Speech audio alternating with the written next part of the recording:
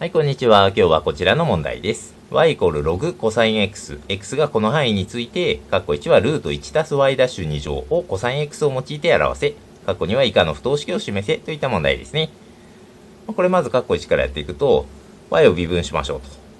ここにあるので、これを微分すると、これはっていうと微分するとコサイン x 分の1ですね。で、さらに、コサイン x 微分するので、マイナス sinx ということで、微分するとこうなります。つまり、マイナスタンジェント x ですね。で、これがここの部分ですから、1たすタンジェントの2乗になりますよと。つまり、ルート1たすタンジェントの2乗 x と。これがこの値ですね。で、1たすタンジェント2乗っていうのは、コサイン2乗 x 分の1ですね。こう表すことができますよと。で、これでルートと2乗が一緒に外れて、コサイン x の絶対値分の1というふうになりますよと。で、さらに、コサイン x っていうのは x がこの範囲では正ですよね。これ正ですから絶対値がそのまま外れて、これが求める答えということで、括弧1はおしまいです。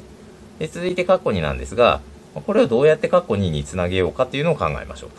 まあ、ちょっとよくわからないので、とりあえずこのグラフを書いてみましょうか。このグラフはっていうと、えっと、まず y 軸で対象ですね。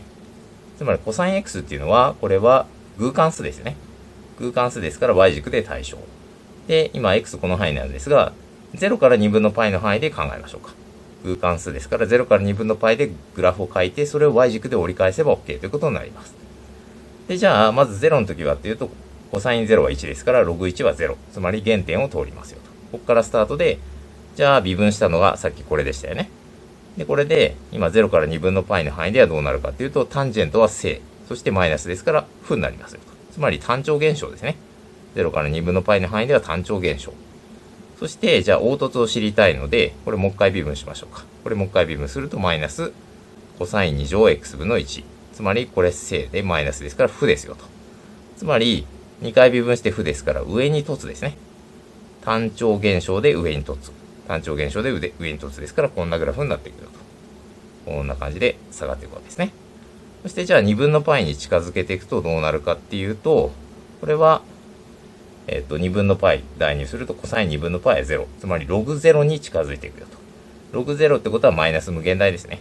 マイナス無限大にどんどん近づいていくと。単調現象で上に凸で、こうマイナス無限大に近づいていくので、こんなグラフ。そしてこれを折り返せば OK ですから、まあ、こんなグラフになるよと。これが、まずは、え y イコールログコサイン x のグラフということになります。で、じゃああとは、括弧1のこれって何なのかっていうと、これは積分すれば曲線の長さを表しますよね。1たす y' の2乗。これを x で積分すれば、まあ、範囲はどっかからどっかまでですね。このどっかからどっかまでの曲線の長さを表しますよと。つまりこの曲線のどっかからどっかまでの長さを取ってあげれば、この値が出てくるんじゃないかなっていうのを考えていきましょうか。そして、あとここにログ2があるよと。ログ2があるので、これログ2に2が現れるためには、x に何か代入してみましょうと。例えば x に4分の π を入れてみると、4分の π っていうのは、コサイン4分の π ルート2分の1。つまり、ログルート2分の1。これはっていうと、ログ2のマイナス2分の1乗ですよね。ですので、マイナス2分の1が外に出て、マイナス2分の1のログ2になります。これでログ2が現れるなと。つまり4分の π の時は、この y の値っていうのはマイナス2分の1のログ2ですよね。ですよと。で、 じゃあこれ見てみると、ログ2が出てきたんで、これが使われるんじゃないかなって見てみると、これを2乗したのがちょうどこれですね。これの2乗。つまりこの y の値2乗したのがこれ。よく見てみると、こっち側も4分の π を2乗したものになっているよと。つまり、この左辺って何なのかっていうと、これの2乗足すこれの2乗。つまり、ここの長さの2乗を表しますよね。この線分ですね。この線分の長さの2乗。この三平方の定理で、ここの2乗足すここの2乗がここの2乗。ということで、この長さの2乗を表していますよと。これが下側。じゃあ、これを上から押さえたいよと。これよりも大きいもので押さえたいよ。じゃあ、これ何なのかっていうと、つまりこの曲線だなと。この曲線の長さを求めて、これよりは小さいよというふうに言えますね。ということで、じゃあ、この曲線の長さ、どこからどこまでの範囲を取ればいいかっていうと、0から4分の π までの長さを取ってあげればいいなと。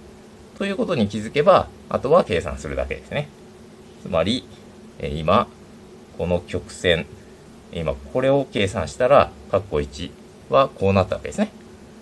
ですので、この曲線の長さ、えー、つまりこれって今これですから、コサイン x 分の1を、これを x で積分するよと。どっからどこまでかっていうと、0から4分の π まで積分すればこの長さが出るわけです。これが0から4分の π まで。ということになります。で、これが、これになってくれば嬉しいなってことですね。で、じゃあこれ計算してみると、これは、まあ、コサイン x を分母分子かけて、コサイン2乗 x 分のコサイン x にして、これ1マイナスサイン2乗ですね。1マイナスサイン2乗。で、これは2つに分けましょう。つまり、1マイナスサインと1プラスサインに分けてあげて、こうしてあげて、で、足してあげれば、これ通分すれば1マイナスサイン2乗分の1たすサインと1マイナスサインが出るので、足して2になりますね。ですので、これの2分の1してあげれば OK。で、あとコサイン x を乗っけてあげれば OK ですから、こうなるよと。こうなりますね。これっていうのはこういうふうに変形できますよ。つまり今この式を変形してこうなったわけですね。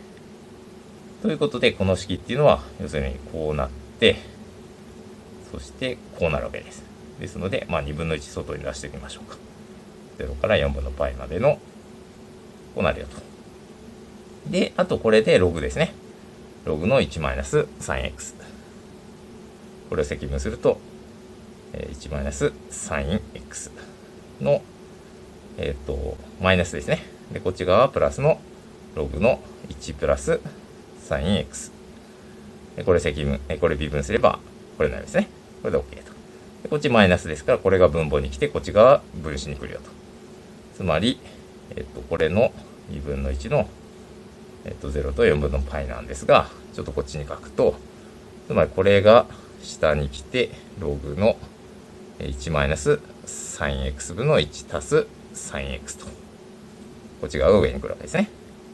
で、こうなっていて、これの、まあ、2分の1の0と4分の π を代にしますよと。まあ、0入れると sin0 でこけてログ1ですから0。あと4分の π 入れればおしまいですよと。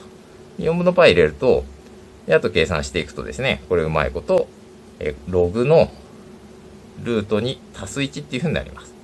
まあ、ちょっと計算省略しますけど、こうなりますと。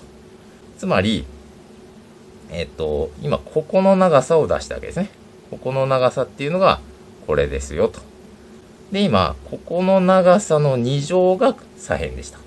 じゃあ、ここの上の長さの2乗っていうのが右辺ですよ、ということを言ってるわけですね。で、えー、グラフより、この上側っていうのはこの上に凸でしたよね。上に凸ですから、このまっすぐのこの線分よりも上側の方が長いわけです。ですので、えこの線分の2乗よりも上側のこの上に凸になったこの曲線の2乗の方が長いよということで、え過去にこの不等式を示すことができました。まこの、えどこまで積分すればいいのかっていうのをこれ気づくのが、えできるかどうかっていうのがポイントかと思います。以上です。ありがとうございました。